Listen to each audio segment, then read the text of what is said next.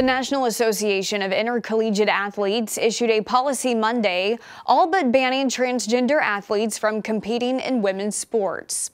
The NAIA Council of Presidents approved the policy 20 to 1, which says athletes are only allowed to compete in women's sports if they were assigned the female gender at birth and have not begun hormone therapy.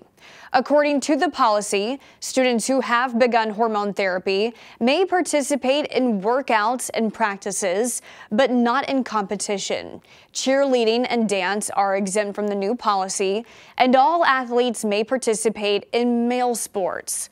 The NAIA oversees around 83,000 athletes at its 241 mostly small colleges around the country. It is believed to be the first college sports governing body to take these steps. The policy takes effect in August.